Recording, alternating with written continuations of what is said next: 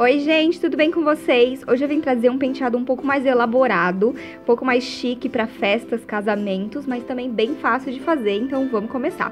Eu vou separar a primeira faixa de cabelo, eu pego ali de trás da orelha para frente, puxo essa faixa de cabelo e deixo ela reservada na frente, ó. Venho ali com as mãos, fazendo o risco de trás da orelha, puxo essa faixa de cabelo para frente e deixo ela reservada, que a gente vai usar só depois. Com o restante, eu vou fazer um rabo de cavalo baixo, sem segredo nenhum, só que eu vou deixar um pouco de cabelo ali na nuca, solto. Não, ser, não chega a ser um meio rabo, tá? É um rabo completo, vamos dizer assim, só que eu deixo um pouco de cabelo solto na nuca, só pra gente dar o acabamento depois vocês vão ver. Então, amarro ali com um elástico. E aí eu venho com esse acessório de penteado, é um donut, uma rosquinha. Eu vendo ele na minha loja, para quem não conhece, vou deixar o link aí para vocês conhecerem. Eu vendo essa rosquinha lá. E aí eu vou passar ela dentro do rabo para ela dar volume no nosso coque, ficar um coque bem volumoso e cheio de textura. E aí, gente, sem segredo e sem critério, eu vou jogando as pontas do meu cabelo por cima da rosquinha e vou colocando grampos. Eu sei, parece que vai dar tudo errado, parece que não vai ficar bom, mas no final dá certo, juro. Eu testei esse penteado umas quatro vezes antes de gravar.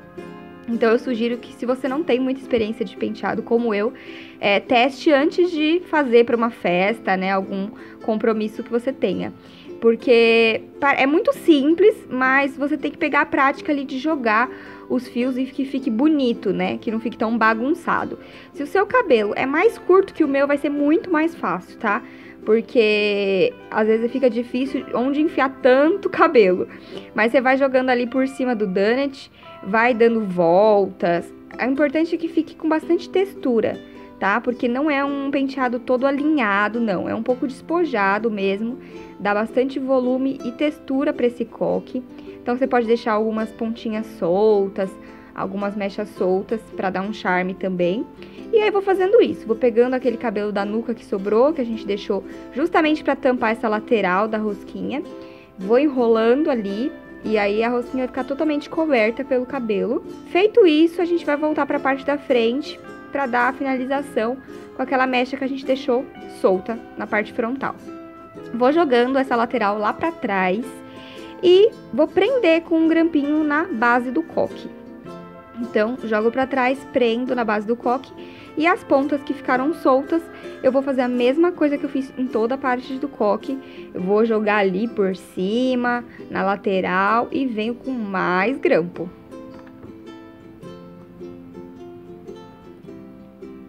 E do outro lado, gente, é a mesma coisa, tá? Vou pegando as mechas, vou jogando lá pra trás Vou prendendo na base do coque com o grampo e os cabelinhos que sobraram, as pontinhas que sobrarem, eu vou jogando por cima do coque.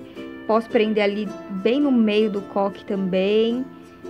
Ó, e coloco o grampinho e vou prendendo.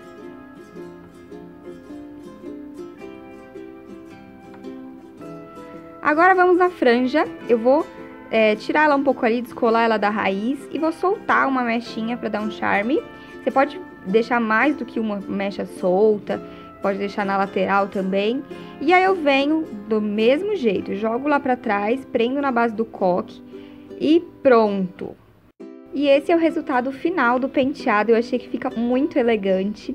É, eu não sou muito fã de penteados muito presos, mas eu amei esse. Achei que fica bem despojado e bem bonito. Espero que vocês também tenham gostado, estejam gostando da nossa série de penteados. Se vocês não viram os episódios anteriores, eu vou deixar linkado nos cards a playlist da nossa série. Avalie aqui, por favor, o vídeo se você gostou. Não se esquece de se inscrever no canal, que ainda teremos mais dois penteados. E até amanhã, às 11 horas. Um beijo. Tchau!